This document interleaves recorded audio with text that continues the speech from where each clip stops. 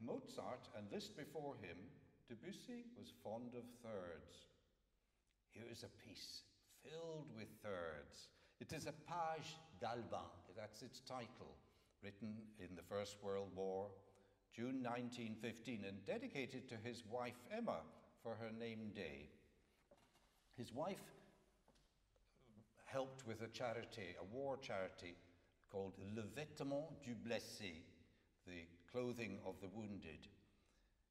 So he inscribes his dedication, Pour le vêtement de ma petite mienne, for my dear little one. It's a very clever waltz written with these thirds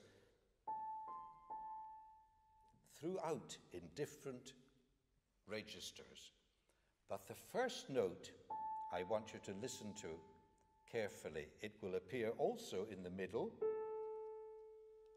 and at the very end.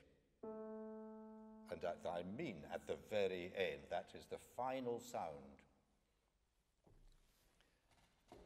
When I'm working with children, for sight reading, I say, you must look to see what key it is in to the last note, the last chord in the left hand. And here is the last chord in the left hand, the last note.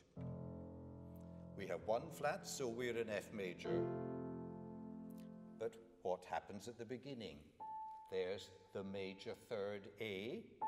It's going to rise. He's going to give us a B flat. But then what? A strange chord for F major.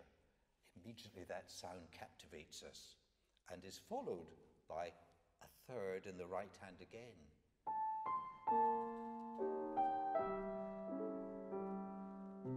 Then it's heading into F major. Down it goes another third into the minor. Thirds.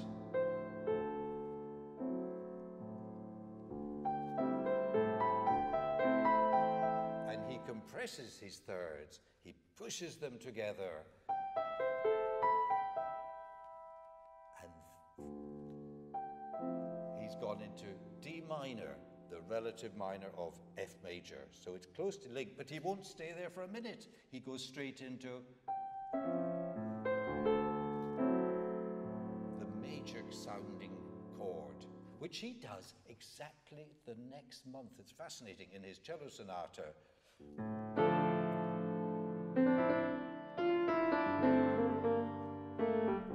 And he goes major, minor, just the same.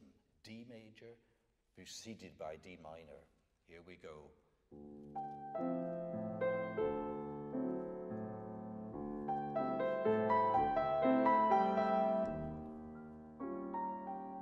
The shift, the semitonal shift up onto an E flat.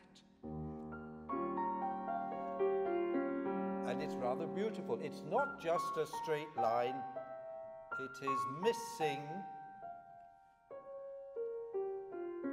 There's no B flat. The key signature note is missed out. And maintains our interest by not just being exactly what we expect. That's a surprise, and off we go upwards in the line of thirds.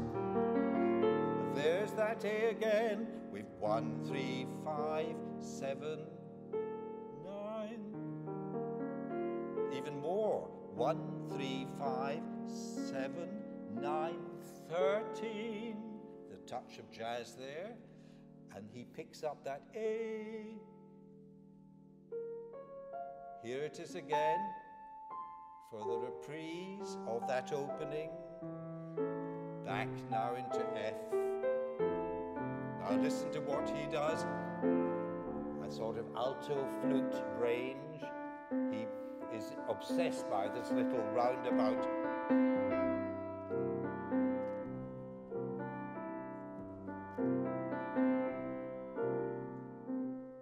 Back we come for the final appearance. High A and an F to keep us comfortable. Ah, but listen to that. Little pause before the final.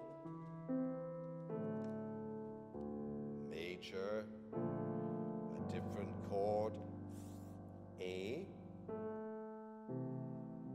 and a normal cadence. What was all the fuss about? But listen, that A is just there. So let's hear it the whole way through.